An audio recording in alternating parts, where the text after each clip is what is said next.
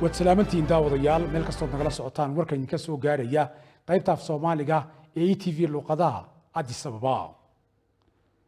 Ra'iisul wasaaraha jamhuuriyadda dimuqraadiga federaalka etoobiya abiy axmed ayaa soo jeediyey fariin ku beegan maalinta xuska quruumaha qoomiyadaha iyo shucuubta etoobiya oo maalinta berri ah ku beegan.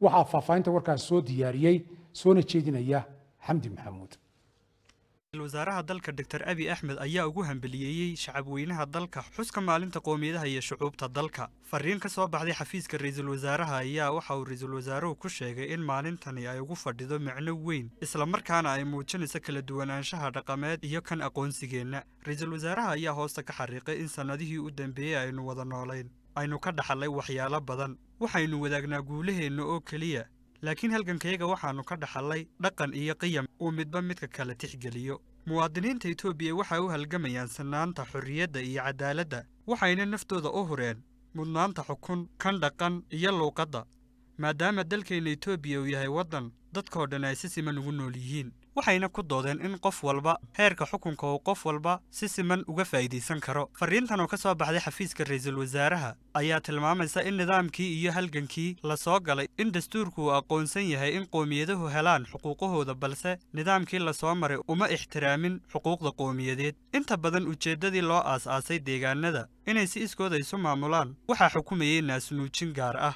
Deegaanadu waxay noqdeen kuwo daawadayaal ka ah khayraadkooda dabiiciga ah iyo kan dadsameega ahba. Waxaa la abuuray quruumo loo oggolaaday in ay dal xukumaan. Qaarkoodna waxaa loo oggolaaday in ay sacbiyaan marka ay ciyaaryahanadu durdurinayaan. Xuquuqaha dastuurka lagu taageeray inuu ilaaliyo madax bannaanida iyo xuquuqda. Xuquuqaha dadku wuxuu bilaabmay in uu wiiqo xukunka. Xuquuqaha aadamaha ayaa lagu xadgudbay etoobiya waxa ay lumisay sharaftii muwaadiniinteeda waxayna etoobiya noqotay meel ay ku hoydeen xabsiyada madow iyo xarumaha jirdilka.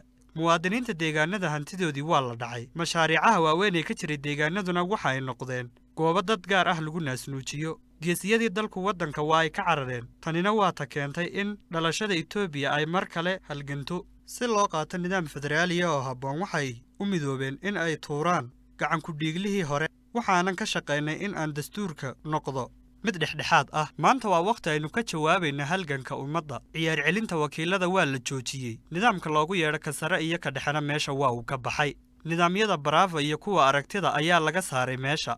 Qaybta ugu weyn iyo iskaashiga ayaa soo noqday. Waxaa la dejiyey nidaam uu qof walba oo ka soo jeeda deegaanada etoobiya uu la wareegi karo awoodda ugu sarraysa ee dalka. Midnimada qaran waxaa lagu dhisay khilaaf si ulakac ah loogu geystay aqoonsiga qaran haddaba waa uu dhammaaday wakhtigii loo shaqaynayay kooxaha gaarka ah. Waxaan leenahay aqoonsi inoo gaar ah taariikh dhaqamo iyo luuqado.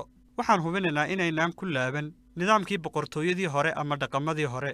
Waxaan hubinaynaa in nidaamkayaga federaaliga uusan ahayn magac keliya laakiin waa in aan si sax ah loo hirgeliyo halgankayaga. Waxaan hubinaynaa in ciyaartooyada iyo gobollada aragtidu aysan sii jiraynin. Waxaan hubinaynaa in nidaamada qarankeenna ay weligeed gorgortan geli doonin midnimadeennu waa dabbaaldegeenna ballanqaadkeennu waa inaynu ku noolaanno iftiin iyadoo aanaan luminaynin midnimadeenna waa inaan ku heesno barwaaqo waa inaan ka gudubno saboolnimada oo aan gacmaha isqabsanno.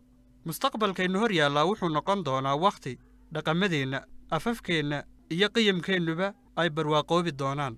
Waxay noqon doontaa wakhti midnimo wada jir walaalnimo iyo wakhti barwaaqo. Mustaqbalkeennu waxauu noqon doonaa wakhti barwaaqo nabadgelyo cadaalad iyo wada noolaansho waxaannu xoogga saari doonnaa dariiqa barwaaqada. Mar labaad waxaannu u dabbaaldegaynaa maalinta qaran ee shucuubta iyo qoomiyadaha dalka. Etoobiya sharafa ku noolaato carruurteeduna barwaaqaha gaadho. Ilaahay ha barakeeya etoobiya iyo dadkeeda. Farriintan waxay naga soo gaadhay xafiiska ra'iisul wasaaraha. Isla warka annagoo ku jira ra'iisul wasaaraha jamhuuriyadda dimuqraadiga federaalka etoobiya abiy axmed ayaa soo jeediyey in loo baahan yahay in quruumaha qowmiyadaha iyo shucuubta etoobiya ku wada dhaqan ay kor u sii qaadaan midnimadooda isxurmayntooda iyo wada shaqayntooda si loogu guulaysto oo loo gaadho barwaaqada la higsanaya geediga loogu jiro. Waxaa magaalada adisababa lagu qabtay simposium loogu talagalay xuskaas afariyo tobnaad ee maalinta quruumaha qowmiyadaha iyo shucuubta etoobiya ee maalinta magaalada adisababa lagu qabanayo waxaa simposiumkan ka soo qayb galay madaxweyneyaal ka kala socda deegaanada kala duwan ee dalka. Waxaana lagu soo bandhigay qormo daraasadeedyo arrintaasi ku saabsan. Waxaa halkudheg looga dhigay xuskan afariy tobnaad ee maalinta qurumaha qowmiyadaha iyo shucuubta etoobiya ballanqaadkeenna dastuurku waxaanu ku gaadhaynaa hor nabadgelyo waarta. Waxaana xuskan afariy tobnaad diyaarinaysa martigelinaysa dowladda deegaanka oromiya waxaana lagu qabanayaa magaalada adisababa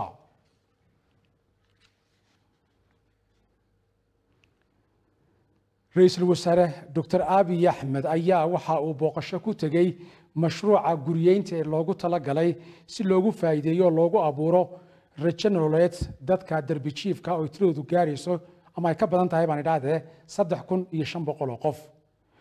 Mashruucan qaran ayaa waxa uu ka qayb qaata ka qayb yahay ballanqaadyo uu ra'iisul wasaare doctor abiy axmed bishii nahase ee sanadkeenu soo dhaafnay labada kun iyo koo iyo tobanka la soo dhaafay uu ku sameeyey in wax looga qabto xaaladaha dadka derbijiifka sidoo kale mashruucan ayaa waxaa loogu tilmaamay mid wax weyn ku soo kordhin kara wax ka qabashada xaaladaha dadka derbijiifka ooy halkaasi ka heli karaan damaanad qaad iyo adeegyo kala duwan oo noloshooda kor u qaadi karaa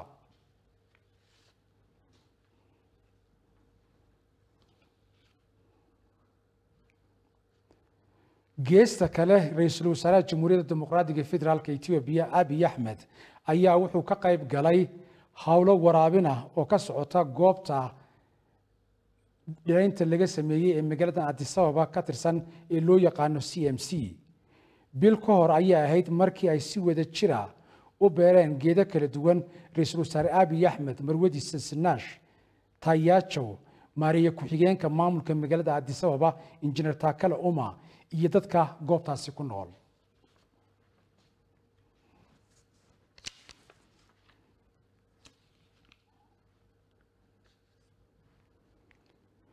Maamulka magaalada muqdisho ee dalkaasi soomaaliya iyo